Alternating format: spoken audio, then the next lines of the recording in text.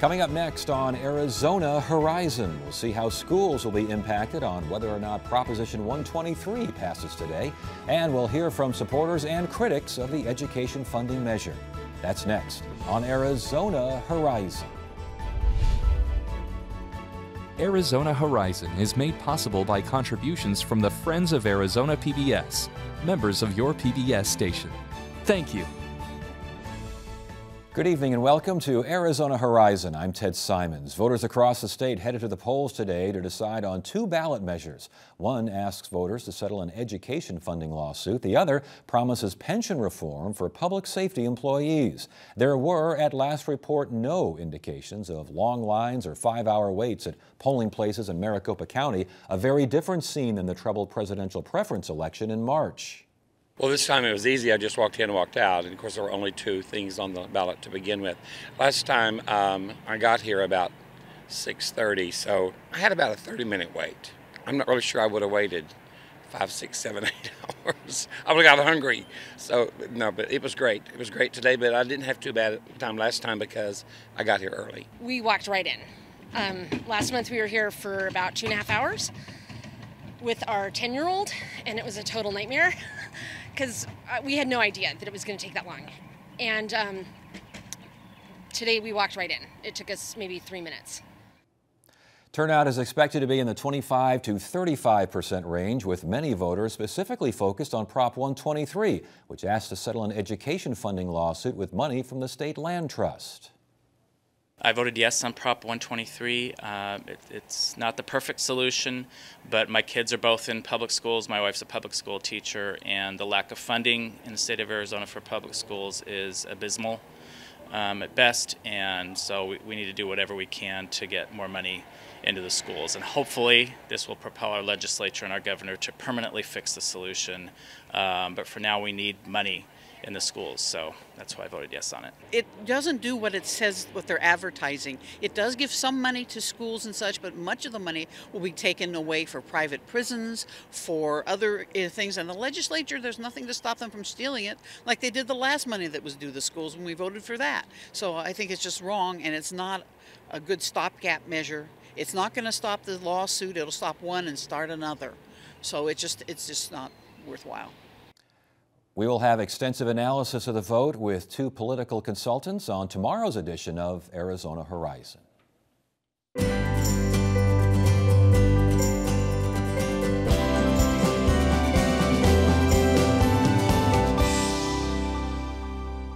As mentioned earlier, Proposition 123 is a main focus of today's special election. It settles an education funding lawsuit by increasing the use of money distributed from the state land trust. Regardless of how today's vote turns out, Arizona school districts will start work tomorrow finalizing their budgets. Producer Elisa Adams has more. Word problems can be a challenge for these Chandler third graders, where finding an answer usually means solving for unknowns. When it comes to school district budgets in Arizona, there are always a lot of unknowns. There's definitely always some uncertainty built into the budget because the legislative session does not end until May. In a typical year, how much money goes to educating the kids in these desks is largely based on how the men and women in these desks vote. And the calendar is always tight. The legislative session typically ends in May, and most districts have to finalize their budgets in early June. It can be difficult, and it depends on the year. Lori Garvey with the Madison School District says that they start working on their budget in the fall. The budget process in Madison actually starts well before the next school year. By October, November, we're already looking at um, enrollment projections for the next year, things, um, our programs, things that may expand for the following year. So we're gathering a lot of information and a lot of data starting in October, November, and that process continues um, well into January. Terry Locke, the Director of Community Relations with the Chandler Unified School District, says they're thinking about how much paper to buy, new technology, salaries, and everything else in these classrooms way before they know what kind of money they have to work with from the state. We begin the process by involving our citizens in January, and we have a, a Citizens Budget Committee that analyzes our, our needs uh, from our schools and departments and makes a recommendation to the board. And simultaneous to that, we're waiting for the legislature each year to pass a budget. And they all come together about this time for a budget. The legislature has passed the budget for this year, but there's still a big unknown for schools. This year it's all about Prop 123. And the reason I say that is because we, the, the legislature has approved a budget and the Prop 123 will have a significant impact on Chandler Unified if it passes. In fact, Locke says the impact of Proposition 123 is so big they had to come up with multiple budgets this year. It's, it's really two different budgets, and, and depending on what happens from, uh, from the voters, will determine what that looks like. The Madison School District and districts we talk to across the state are also looking at two sets of numbers.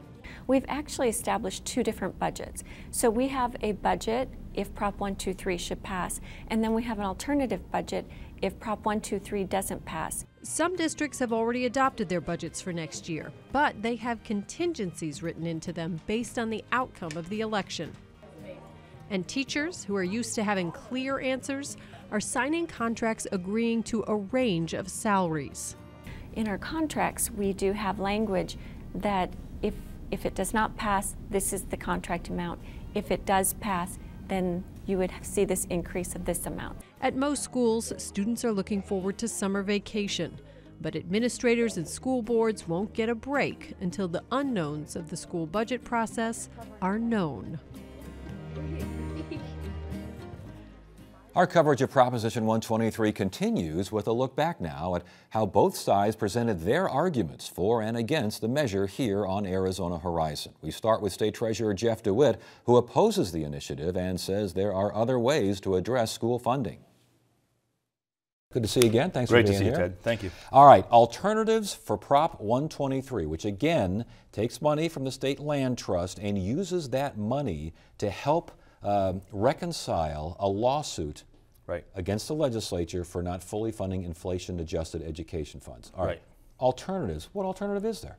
Well, first, make sure you, you recognize the flaws in 123 that it's not more money. The two talking points they have is more money for teachers and won't raise taxes. And yet, it's not more money for teachers and it raises taxes. So I think we can do a lot better How is it not more money for teachers? I'm hearing, I'm hearing teachers are already being penciled in for raises. In some districts, they're, they're putting this out there. In other cases, though, they're not going to get what they're being promised because, and, and I've been saying this all over the state, not more money for teachers. And about five weeks ago, it was fact checked in the Arizona Republic. On about five Sundays ago, they fact checked the statement, more money for teachers. It got zero stars. It was false. There's not one requirement anywhere in Prop 123 that a single dollar goes to a single teacher. And yet they're selling this. We all know we have a problem with our teacher pay. We're one of the low, we're the 50th, I mean 50th in the country, and so we have to get it up. But the, the deal is that this was negotiated behind closed doors in the governor's office with the School Boards Association, and the School Boards Association wanted no accountability. They promote this on the school board's website to other school board members saying the great thing about Proposition 123 is there's no accountability in how we spend this money. They don't want to give it to teachers. But, but they, they will eventually have to give it. Mean, the money will be there. I mean, they may not be promised, it may not be written in stone that you must do X, Y, and Z, but teachers will get more money for the most part, will they not? It remains to be seen. In many cases, they will not. So, you know, the entire budgets of our school is about $10 billion, local, state, and federal money. This is an extra $300 million a year. They're taking the school's own money, giving to them early, so in 10 years we fall off a cliff. But how do you give out? They're promising, I've, had, I've heard teachers say some, they're getting promised a $10,000 raise, which would be a 30% bump in pay. How do you promise a 30% bump in pay when you're getting a 3% bump in your budget? Someone's going to be disappointed. So, what is your alternative then for Prop 123? You say that the, you don't have to go this, this, this whole route here. It's, Right. it's easier to do what? Well, since the time that Prop 123 was announced, we have had a lot of extra money come into the state. Since the first time they tried to raid the trust, we had extra, an extra $300 million come in, which JLBC, the budget council down there, uh, budget committee, said $250 million is sustainable. And since then, a lot more money's come in. We're back to peak employment in the state. The whole reason we had this funding crisis was in the downturn, we, you know, the state was short cash, and so they went and they took the money away from the schools. We're back. We have, we have over $3 billion in cash in the state's operating account right now. We have the highest balance post tax time any time in the state's history $3.5 billion. In fact, just the month of April, the amount of money under management in my office for the state went up by over a billion dollars. We've never seen anything like this 1.1 billion. We're over 14 billion now for the first time, managing this money. We have so much cash. All we need is 300 million to solve it for the schools. Actually, 250 because they'd already appropriated 50 million for it. We could easily solve this and lower taxes. Why would we want to do Prop 123, which raises taxes? Are you talking one-time money or are you talking continued no. funds? Continued funds. So for over the 10 years, you're saying yeah. the money is there for over the 10 years? Yes. The money's there for to do this even over if, 10 even years. if a downturn in the economy, even well, if that happens. Well, if there's a downturn in the economy, Prop 123 would cut the funding faster than this money would go away because Prop 123 has all these triggers put into it. Where if we see the slightest dip in the economy, then the legislature doesn't have to give the schools any money out of Prop 123. That's one of the biggest complaints that the teachers in the schools have about 123 are all the triggers that are put in place. So this money absolutely would last a lot longer. It would take a very, very severe downturn in the economy, similar to what we saw in the 09, 010, which but prior to that, we hadn't seen since the Great Depression. But it would take a similar kind of downturn in the economy to, to render those triggers, would no, it not? No, much smaller downturn to how render so? the triggers. Well, just look at how they're written. I, I, encourage everyone to go and read the triggers. And when you see how they're written, it just takes a downturn in the unemployment rate by a certain amount to, to trigger those to trigger the triggers, trigger the triggers. The 49% of the general fund as well. I mean, that, that would yeah. by the time you got up to that level, would there not be already measures taken? I mean, it would, the landscape, the environment would be so different. I don't know how I don't know how you think it would. We have the money to do it right now, and they're not giving the money to schools. What what what do you, what reassurance does anyone have that when there's further money there, they won't take the chance to, to hit those triggers the, the moment they're written. These triggers are written in a very deceiving way, and I encourage everyone to read the wording, and you'll be very scared. Everyone that reads the wording of Prop 123 gets very nervous well, we, about the bill. We've discussed the triggers a lot on this program, okay. and, and, and, what we've also uh, found is that those who say the money is there, you don't need to use the land trust, or you right. don't need to go this route, don't understand. I mean, the governor's budget director says you're unrealistic about this. Others, folks, uh, Chicken Little, whatever the case may be, Flat Earth Society, I think Rob Rob in the paper. Yeah, I know. Flat Earth. But the fact is, there is a political component. It would be wonderful if everyone did certain things. Politicians, elected public officials, sent there by us, right now are saying they don't want revenue enhancements. They don't want these sorts of things, and that what you're offering doesn't make political sense in this environment. Do they have a point? And, and yet, they don't want revenue enhancements, which mean tax increases. And yet, Prop 123 raises property taxes. For some. For many. For, for many. For many. And there are districts, Ted, there are districts, met 45 districts around the state that won't see a dollar out of the trust. All this additional trust money, they won't get a dollar. The only extra revenue their schools will get are from the property tax in these 45 non-state aid districts, Cave Creek, Scottsdale, all these districts all around the state, big ones, uh, they won't get this. And I've asked, I actually spoke to some people in those districts, and I've, told, I've, you know, I've gone on debates and things, and behind the scenes I'll say, you know this raises taxes, right? And they'll say, yeah, we know it raises taxes, but look, we, all our bond measures get voted down. The only way we're going to get property tax increases through is through a tricky thing like this. So they do it. They go along with it. Bond measures get voted down, and education officials get frustrated because they mm -hmm. say that education simply isn't a priority in this state.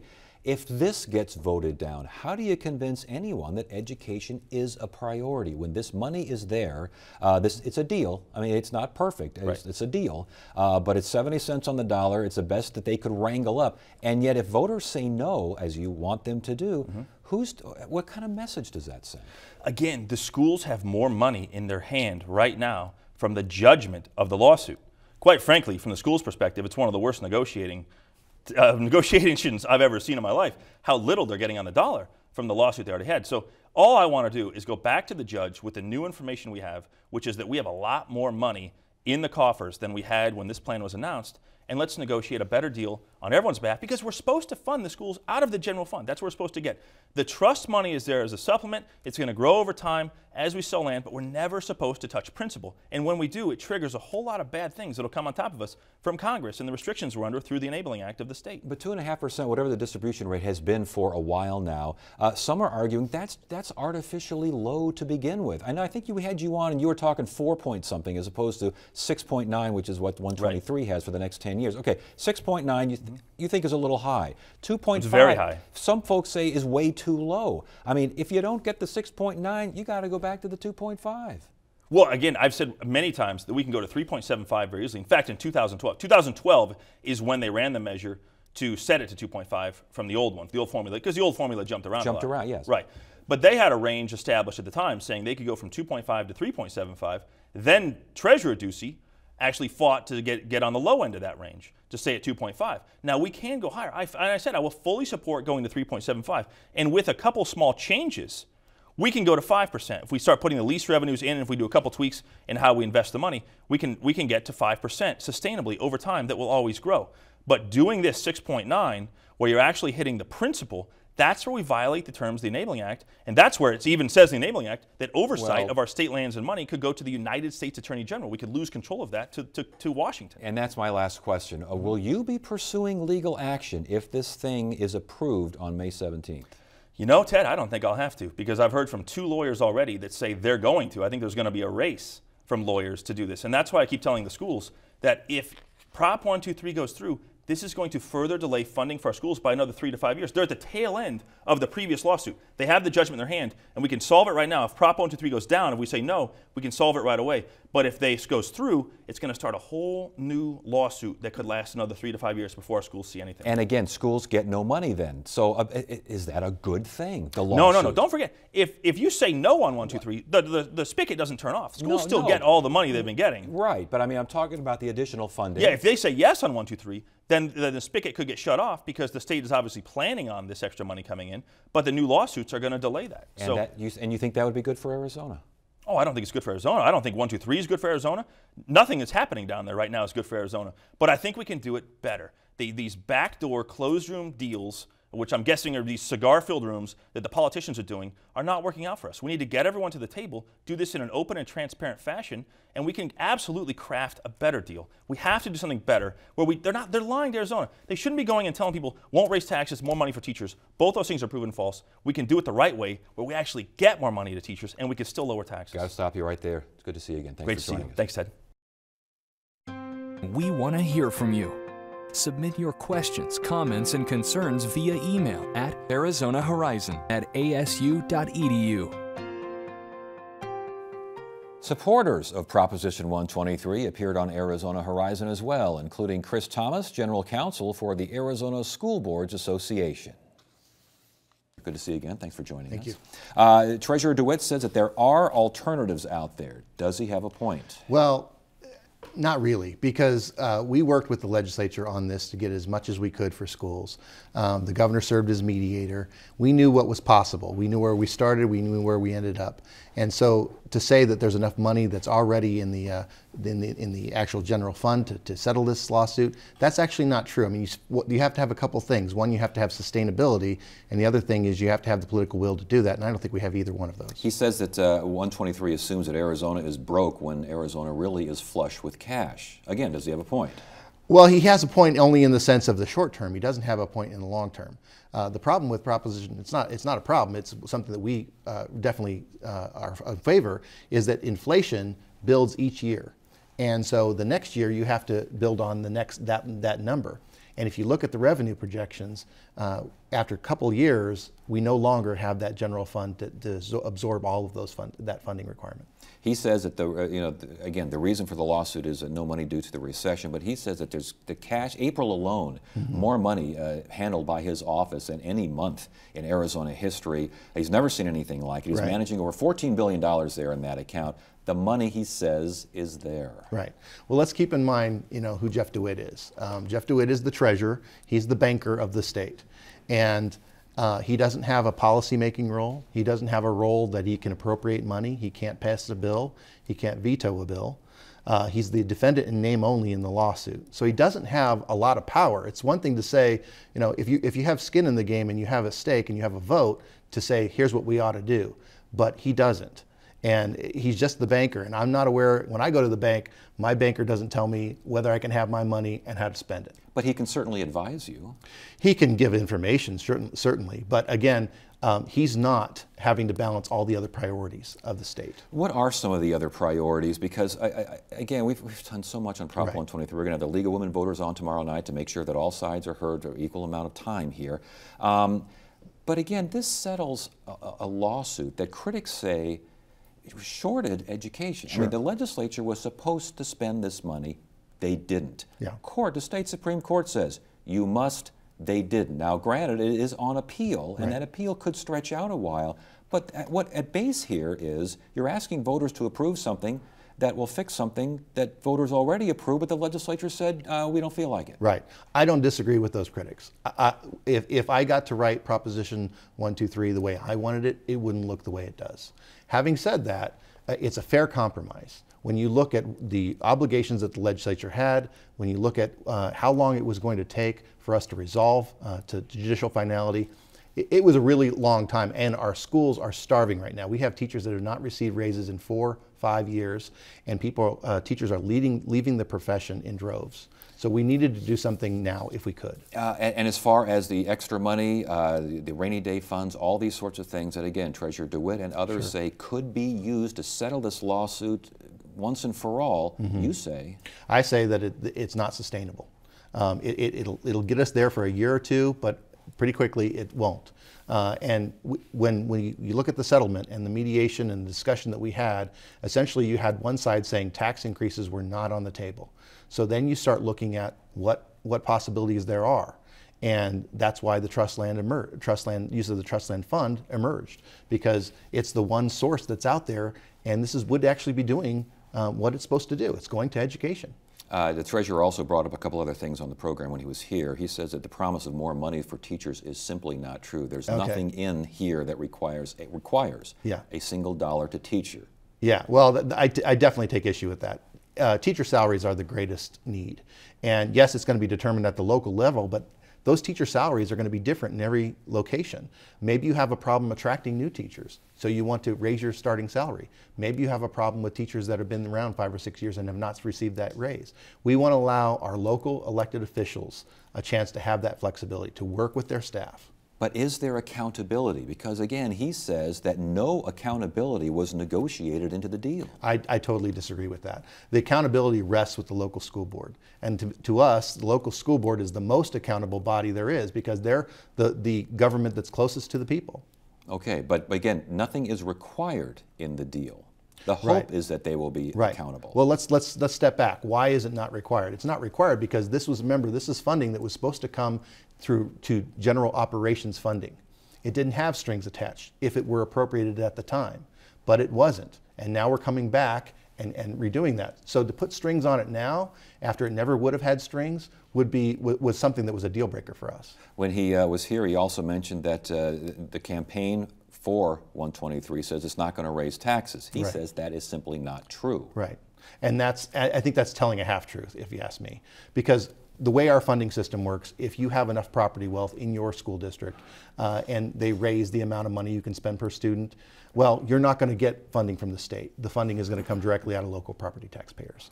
And so that's just the way it would work. And it would work even without Prop 123. If you raise the amount of money going in, right. it's going to be a, a, a tax increase for some people that are in that, that uh, category. So no state tax increases, right. but the possibility for some a property tax increase. Right, and what, what would be alternative? The alternative would be to leave those districts behind, and I don't think anybody wants that. He says that at least 45 districts around the state won't see a single dollar out of this settlement. True? No, that's not true. Um, again, he's using that. He's, he's using the funding system to make that argument, and we don't think that that's a fair argument at all. Um, again, one of the things that Arizona can be proud about in its education funding system is the equity that there is. Um, we're all low, but at the same time, we're all the same. And uh, that equalization formula, which has been in place since the early 80s, has really served to uh, that purpose. The, uh, there's concern out there from I think the treasurer, but others uh, probably even more so regarding these poison pills, as they're described, mm -hmm. for the future of education. These triggers are written into the deal in a certain right. way that in the future, if the economy goes one way or the other, uh, all of this money, all this wonderful glad tidings goes away. Are you concerned about that? No, not at all. I mean, we vetted that. We, we had an independent economists look at that. The recession trigger that we like to talk about, the great thing about that one is, is that even if the legislature does not need to fund us in a given year because there is a recession, the base still gets adjusted, which means that in the next year, um, and the, the recession trigger is not in play, the actual amount they'd have to come up with is a, a double amount. So we don't lose ground for the effects of inflation. So, if in 2019, all of a sudden, uh, lots of tax cuts and lots of revenue not coming in like it used to, mm -hmm. and mm-hmm. education hits that 49, 50% threshold, which triggers the right. trigger, as it were, you're saying no big deal? No, that, that one is not a big deal because basically our peak was 43%, and that was when we were paying for all day K and a bunch of other things. We're nowhere near that 49% figure, and when you look at the obligations that the state has, we're not going to be any near, anywhere near that soon. But it's possible to get there. It, um, in, in the long term, it could be possible, and if that's a problem, um, the voters of this state could repeal that. Um, are you concerned over legal action regarding the Enabling Act or any other aspect of this provided 123 passes? I'm not, and, and here's why, because I don't think that uh, Jeff DeWit has standing. Uh, he's but one of, the, of a member of a board. The board would have to approve that lawsuit. Uh, so this idea that we're trading one lawsuit for another, not true. We have one lawsuit that would take three to five years to resolve, another lawsuit that would be uh, handled in a matter of weeks or months. But if a lawsuit were filed by someone other than Jeff DeWit, someone who would be considered having standing, are you concerned about that? Well, uh, that, that would be a concern, but I also think that we have the facts on our side. Uh, in fact, Jeff Flake, the senator, uh, our senator, um, did get advice that basically the Enabling Act does not need to be amended. All right, so you're saying that the 49% threshold likely won't happen. Even if it does, it won't be that big of a deal, hmm. and you're not expecting any kind of lawsuit regarding the Enabling Act. I'm saying that if, if there is a lawsuit, it will be dealt with in, per, in a perfunctory way. As an education person, are you comfortable with this? Uh, again, it's a, it's a compromise. It's not what I would want. Having said that, it's our best chance to move education funding forward and get to all of those other issues that we have to deal with. Reversing the cuts of the Great Recession, bringing back all-day kindergarten, uh, bring, dealing with our school facilities issues, and a renewal of Prop 301, which really only has uh, four years left. All right. It's good to have you here. Thanks Thank for joining us. We appreciate it. You bet. Watch sneak previews of what's coming soon. Go to azpbs.org slash previews today. Wednesday on Arizona Horizon, two political consultants will join us for analysis of today's vote on Prop 123, and we'll hear from an education representative on what's ahead now for Arizona schools. That is it for now. I'm Ted Simons. Thanks for joining us. You have a great evening.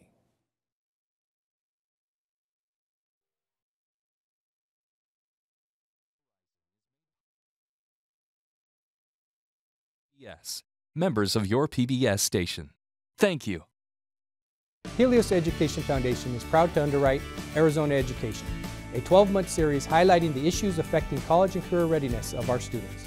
Through a decade of strategic partnerships, Helios is working to change lives and strengthen communities through education.